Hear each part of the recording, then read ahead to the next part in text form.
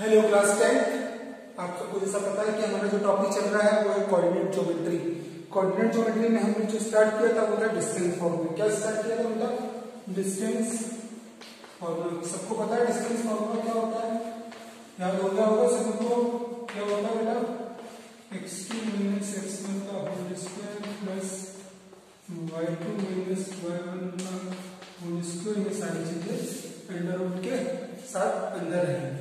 कितना समझ में आता है सभी को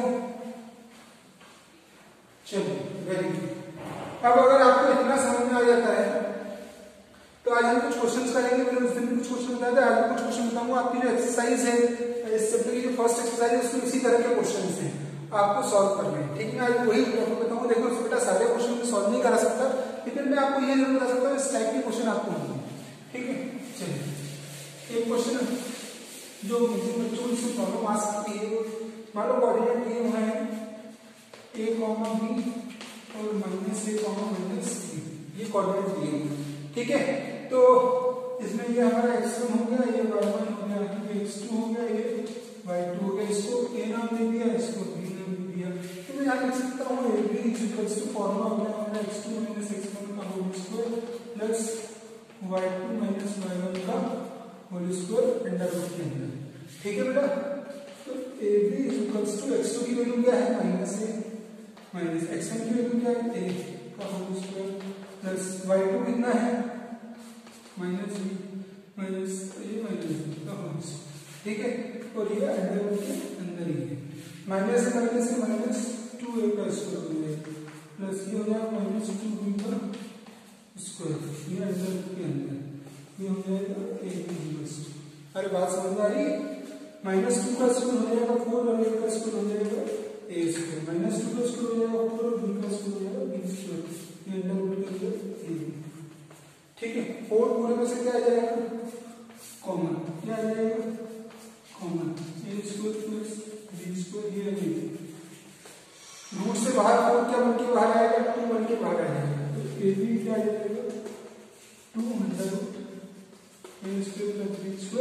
तो इसके नीचे यूनिट्स लिख दिया करो बेटा अगली बात समझ क्या किया हमने? दो कोऑर्डिनेट दिए हुए थे हमको। बेटा, इस इससे रिलेटेड और भी क्वेश्चन आपको मिल जाएँगे। मैं बेसिक बेसिक वही क्वेश्चन है एनसीईआरटी के बुक का क्वेश्चन है। मैं आपको बेसिक बेसिक वही क्वेश्चन कराऊँगा जो आपको हेल्प करेगा आपके, ठीक है? देखिए, एक एक्स की वैल्यू है वाई वन की वैल्यू बी एक्स टू की वैल्यू माइनस है वाई टू की वैल्यू माइनस बी ठीक है? फॉर्मूला हमारा एक्स टू माइनस एक्स का plus Y two minus Y one का होल स्क्वायर एक्स टू की वैल्यू डाली माइनस है एक्स वन माइनस ये वाला एक्स वन की वैल्यू है ए वाई टू की वैल्यू है minus B minus Y one की वैल्यू है माइनस प्लस वो माइनस हो गया। माइनस माइनस से हो जाएगा minus two A minus minus हो जाएगा minus two B minus two A का स्क्वायर हो जाएगा four A square minus two B का स्क्वायर हो जाएगा four B square four four दोनों में तो फोर कॉमन ले लिया और फोर टू बन के बाहर आ जाएगा, ये हमारा आंसर हो जाएगा। इतना समझ में आता है आपको अब करो इसको एक पार्ट में हो जाएगा ठीक है? अब इसके जब क्वेश्चन को बुक लेकर बैठना पड़ेगा या फिर क्वेश्चन को याद करनी पड़ेगी। तो मैं आपको एक मोटा मोटा आइडिया लगा देता अब एक क्वेश्चन आपको ऐसा आएगा, चार कोऑर्डिनेट दिए हुए ठीक है? बात समझ में आ रही? फोर कोऑर्डिनेट्स गिवन रहेंगे आप। इसके ऊपर ए बी सी डी नाम। दे ठीक है? और बोलेगा कि बताइए किस टाइप का कोऑर्डिनेटर है। अगर उसकी दो साइड इक्वल आती है तो पैराग्राम में रेक्टेंगल होगा, चारों साइड इक्वल आती है तो स्क्वायर है रोमस होगा। तो आपको सिंपली इनके बीच में डिस्टेंस निकालनी है। आपको एनसीईआरटी की फ़र्स्ट एक्सरसाइज में आपको ये क्वेश्चन मिल भी जाएगा। ठीक है? इन दोनों को चेक करना। इन दोनों के डिस्टेंस फॉर्मूला लगाना। फिर इन दोनों के बीच में लगाना। फिर इन दोनों के बीच में लगाना। फिर इसके और इसके बीच में लगाना। तो आपको चारों डिस्टेंस आपकी आ जाएगी। फिर उसमें चेकआउट करना कि कौन सी डिस्टेंस इक्वल तो आपको समझ में आएगा। इतना समझ में आ जाएगा इसमें किसी को कोई प्रॉब्लम अरे, इसमें किसी को कोई प्रॉब्लम नहीं, चलिए। अब क्या बोला इसमें? अब क्या एक क्वेश्चन आएगा मान लीजिए एक्स एक्सिस है। एक्स एक्सिस में कोई कोऑर्डिनेट है। एक्स एक्सिस के कोऑर्डिनेट क्या होते हैं? मैंने आपको बताया था एक्स कॉमा ज़ीरो ये होते हैं कोऑर्डिनेट एक्स एक्सिस के। और वहाँ से इसका नाम ए दे और वहाँ से पी कोऑर्डिनेट है और एक क्यू कोऑर्डिनेट टी पर कोऑर्डिनेट है थ्री कॉमा टू और ये है minus four comma minus one ये कोऑर्डिनेट है। और बोला इन दोनों की डिस्टेंस क्या है? इक्वल है। क्या है डिस्टेंस इक्वल है। तो एक्स की वैल्यू बताओ तो डिस्टेंस इक्वल है मतलब ए पी इक्वल्स टू क्या है? ए क्यू तो पहले हम ए पी निकालते हैं। ठीक है? ए पी की फॉर्मूला हमारा हो जाएगा X two minus X one का whole square plus Y two minus Y one का होल स्क्वायर बेटा, मैं आपको एक जनरल क्वेश्चन बता रहा हूँ, आपको इस तरह का क्वेश्चन आपकी बुक में है। फ़र्स्ट एक्सरसाइज में आपको मिल जाएगा, ठीक है?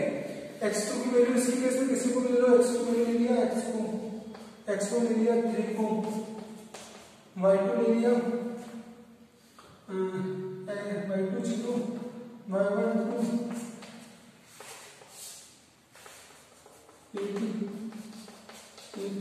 X two minus X minus three का whole square X square plus nine minus six X two का स्क्वायर फोर ठीक है? और क्या हो जाएगा ये एटी की वैल्यू एटी की वैल्यू क्या होगी X square plus nine plus thirty minus six X ये आ गई यूनिट्स एटी की वैल्यू ऐसे निकाल लो ए क्यू क्या निकाल लेंगे? ए क्यू ए क्यू के लिए वही formula X two minus X one का square plus Y two minus Y one का स्क्वायर अंडर रूट के अंदर ए क्यू एक्स टू की वैल्यू इसमें ले लो आप. एक्स ये वाला माइनस है वाला माइनस प्लस हो जाएगा फोर और इसके plus zero minus plus one का स्क्वायर ये अंडर रूट में A Q equals to X square plus sixteen plus eight X one का स्क्वायर वन ठीक है A Q equals to X square plus eight X sixteen plus one seventeen ठीक है आ रहा है समझ में अब ए पी और ए क्यू क्या थे इक्वल थे तो दोनों को भी इक्वल कर देते हैं X square plus thirteen X minus six X equals to root X square plus eight X plus seventeen root से रूट कैंसिल क्या बचा? और एक्स स्क्वायर से एक्स स्क्वायर भी कैंसिल क्या बचा?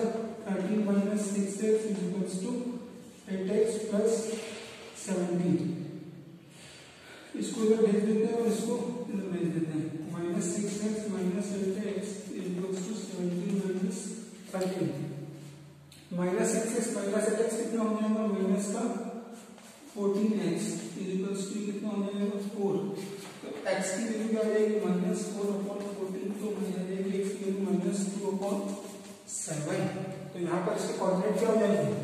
Minus two upon seven comma zero आया समझ में? क्या किया? हमको एक एक्सिस पे कोई कोऑर्डिनेट था और पी ए कोऑर्डिनेट था और क्यू ए कोऑर्डिनेट था। तो हमको बोला इनकी एपी और ए दोनों डिस्टेंस क्या है? सेम इक्वी डिस्टेंस पर है।